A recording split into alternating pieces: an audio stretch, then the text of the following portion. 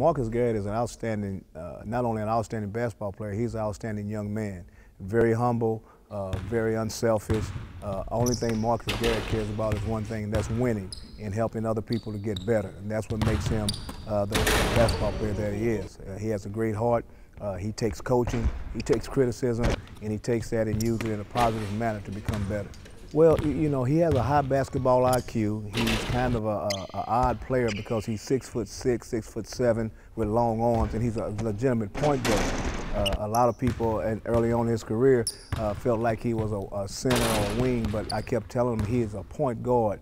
He can handle the ball. Uh, he can score. I think the thing that makes him what he is is his IQ and understanding the game, and he wants to win. Uh, he can go to the bucket. Uh, he can finish. Uh, and, and, he's tough. He's a tough-minded individual, uh, very competitive individual, and he can jump. He's not, he's deceiving when you see him because he's so long, but he can get in there pretty good.